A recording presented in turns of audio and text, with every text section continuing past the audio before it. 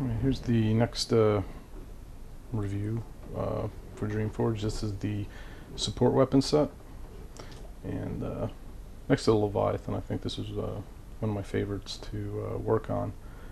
Uh, basically, you can put together three heavy weapon sets. There's a mortar crew, an anti-tank crew, and a machine gun crew. And on the back shows you the different parts. Sorry, it's not a machine gun, anti-aircraft. But uh, yeah, this is a fun kit to put together. And uh, let me grab the sprues here and I'll show you what comes in the box to start with and I'll show you my finished uh, finished guys. So first you have is uh, the bases. Then you have two sprues. And again, there's a lot of, lot of little detailed parts here. So I'm really enjoying the uh, the time and effort put into design this. I mean, uh, just all the little details that you pick up. It's like every time I look at it, I'm picking up something new.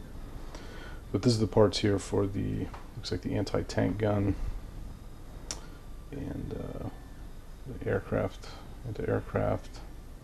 So that's one. So really, the the sprue is all of your different uh, heavy weapons, and then the other sprue is your soldiers that go with each. So for each one, you have a, a spotter, um, and then two support guys uh, to go along with them. So this is the sprue for all their parts. And the, these are little computers they have to control it. Here's another example of uh, some of the cool detail here. You just have a guy, the hand holding a shell, getting ready to load it. Uh, and again, different arm options. Now you don't have as many uh, options as you do with the uh, the other one, just because these are kind of specific to the to the gun. And I guess in the game, each crew is uh, is one one unit, or it's not like uh, at least as far as I know. Like I said, it's still kind of in the process of being made, but uh, I'm guessing by the design of the actual models that uh, each crew is its own unit, for lack of a better term.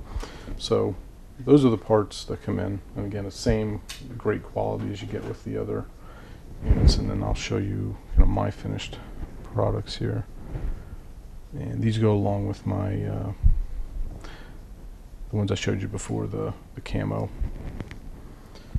Uh, troopers I have. These I did in the same same pattern. I guess we'll start with uh, the anti-tank crew here. So you got your spotter in the back with binoculars. You've got your anti-tank gun. You've got the, the control box wired in. I, I dropped some of the. It comes with uh, all of these are individual sh- shells that come in there. So I threw a couple of spent ones on the ground. The other one's in the box. Now I added some of the uh, uh, logos there, but everything else uh, came came with the uh, with the box. So this is the anti-tank unit. Next up, we have the mortar crew. And this is a pretty cool looking mortar. It's got like three tubes, and uh, Here's some of the spent ones on the ground and a couple in a crate ready to load up. And then you have your loader here with one ready to drop in. Here's the spotter. He's got his him. I put the binoculars up to his eyes. And see. Then in the back we have the, the guy controlling it with his computer.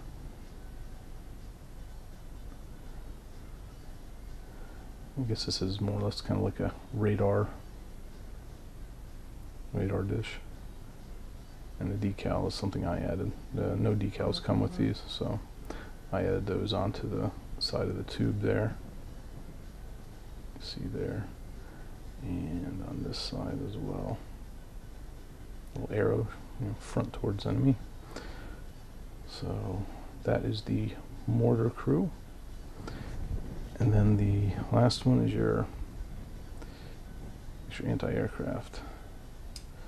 and this does actually move. It's a little tricky if you don't do it just right. You'll end up gluing it in place, but somehow I managed not to do that. So that came out the way it was supposed to. Uh, again, here you have the loader. He's getting ready to load up the drum magazine on the top here.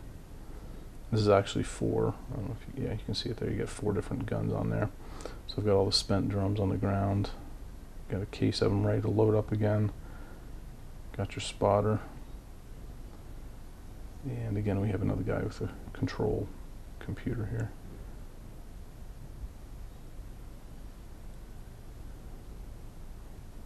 So yeah, so those are the uh, which you can build out of that that kit. You build one of each. Um, I know some people had asked, you know, could you build three? You know, the anti-tank, or do they all have to be uh, different? And the, the way the box comes, you have enough for one of each. So, you know, if you want multiple, something you'd have to buy another box. But uh, again, these are fun little kits to put together, and uh, everything here was uh, right out of the kits. Other, like I said, other than the decals, everything else uh, was in the kit already. So yeah, uh, definitely recommend picking those up. Um, again, they'll make great proxy uh, units for any you know sci-fi futuristic uh, type of game. Uh, certainly for Imperial Guard, you know, they would make good, good heavy weapons units. Uh, or if you just like painting, uh, you know, quality miniatures, I'd definitely pick, pick those up. They, you know, so definitely some great diorama potential here. I guess you could say each of these is kind of like its own little diorama. But uh, yeah, there's a, there's a lot you can do with it, and I built them pretty much exactly like they show on the box. I didn't get too too creative or crazy with it, but I had a lot of thoughts of things I could do with these. Uh, and I have another set of these, so I'll probably do a little more customization on those. But yeah, so if you're looking for some proxies for 40k or some other sci-fi game and uh, you want some true heavy weapons, definitely check these guys out.